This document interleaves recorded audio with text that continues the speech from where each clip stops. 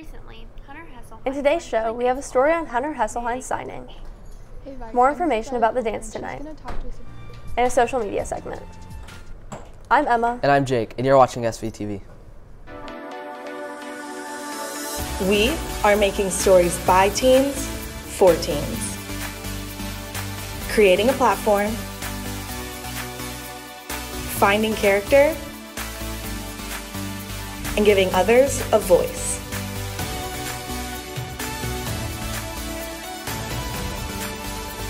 This is SVTV.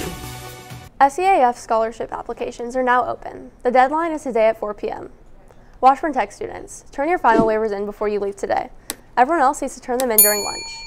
Breakfast and lunch will be offered next week during finals. Students waiting for the bus should meet in the commons area for study hall. Students who would like to join the Writing Center staff should see Miss Sands. Applications are due on the 17th. The Boys and Girls Club is looking to hire part-time employees. If interested in applying, please reach out to Amy Erickson.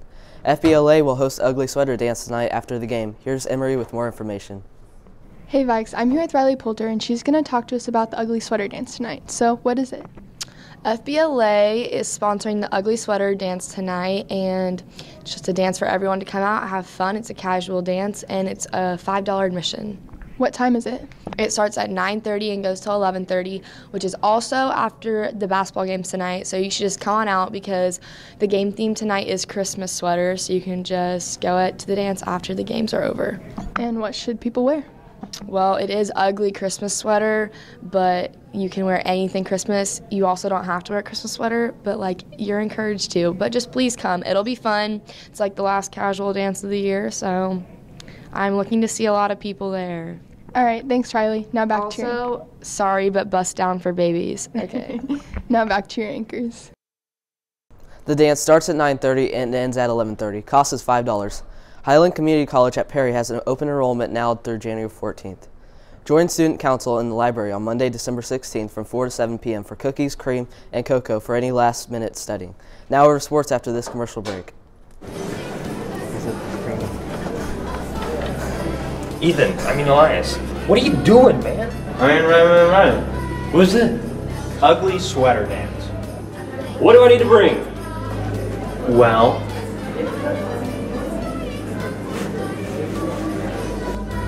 That's one ugly sweater. The Ugly Sweater Dance is this Friday from 9.30 to 11.30, or whenever the basketball game ends. Cost is $5 to get in. Hope to see you there.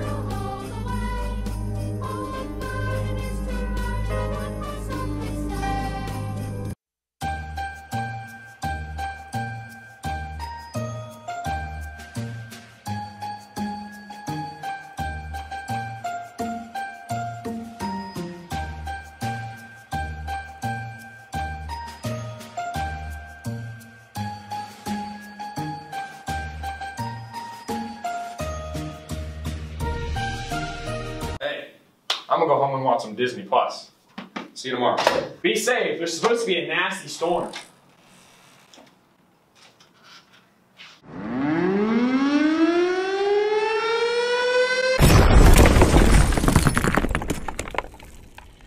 We're tracking round two of winter weather this week. Look at this, a much more widespread area of snow.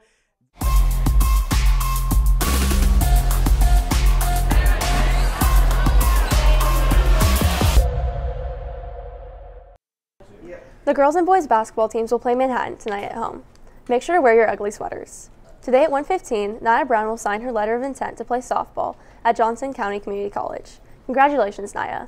Two weeks ago, Seaman baseball player Hunter Hesselheim signed with Barton. Let's go see how it went. Recently, Hunter Hesselheim signed to play baseball at Barton Community College. I chose Barton because they gave me the best scholarship, which included the most money. I want to meet my teammates, play under Coach Biggs and Coach McBride because they have a lot of history around them and they're a very good program. And I just want to get the Barton and hit some dingers. His teammates and coaches will miss his presence on the team, but will always recall some of their best memories with Hunter. Memory with Hunter. Um, probably had it been the first game of state last year where he went out and dueled with Ark City. Uh, it was a 1-0 game, and just being able to watch him compete, and he just brings a lot of energy when he does that. Uh, we were in Florida and we were kayaking out in the ocean, and uh, he tipped my kayak and threw my paddle like probably like 30 yards away from me. So I had to swim back from the buoy, and it sucked. Hunter is looking to keep improving his senior season and start as a freshman in college. Uh, I'm looking forward to seeing what Hunter can do uh, in his senior year on the mound. He had a great sophomore and junior year. Um, he was excellent last year for us after he got healthy. Um, pitched really well and had a big time hit um, down in Wichita during the state games. Um, and just excited to see what he can do this year. Hopefully, he can achieve some more personal goals he set and help us reach our team goals. Good luck and congratulations to Hunter. Your teammates and coaches are excited to see what college holds for you. Congratulations, Hunter, and good luck at Barton. That's all for sports today. Now over to Josh to see if we can get a three day weekend.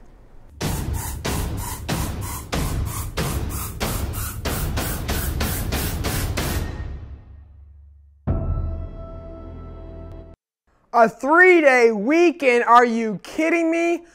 Let's see if it's possible. We are looking at the likelihood of snow Sunday, maybe into Monday.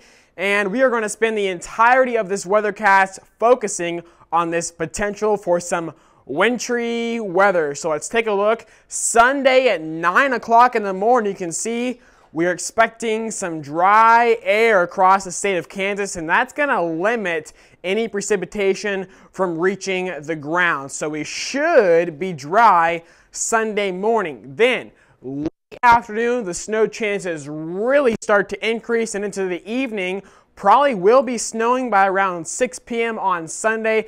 Keep in mind if you're heading home from the Chiefs game, road conditions could be deteriorating by that point.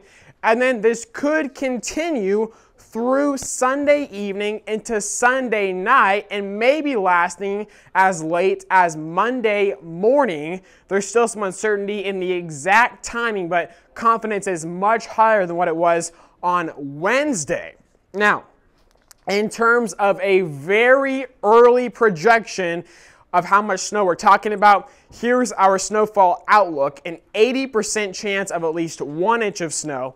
That chance drops off to 60% for two inches or more, and 40% chance of three inches of snow or more. Now, the question everybody wants to know will we get one more snow day this decade? And I don't have an exact answer for you, obviously, but there is a low to medium probability, and it's the highest chance we've had so far this semester. Taking a look at the SVTV seven day forecast. That does show a very nice day today, 56 degrees. Get out and enjoy it before the cold slams in. Highs below freezing Sunday, Monday, and Tuesday with snow likely Sunday into Monday. Luckily, sunshine returns as we head toward the middle of next week, but still cold with highs in the 30s and 40s. Now, Jake and Emma, back to you. Social media asked recently what you would change about the world. Let's see the results.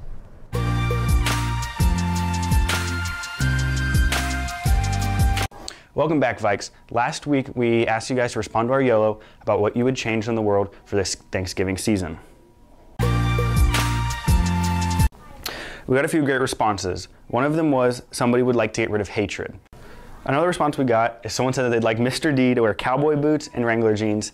I think I'd like to see that too. That'd be hilarious. Another person said they'd like to get rid of ants. They're just bad.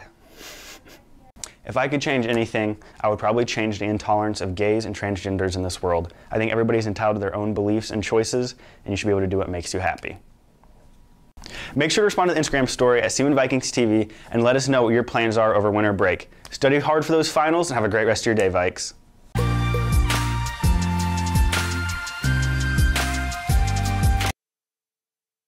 Instagram and reply to Seaman Viking TV's question of what you're doing over Christmas break. Enjoy the rest of your day before finals week begins.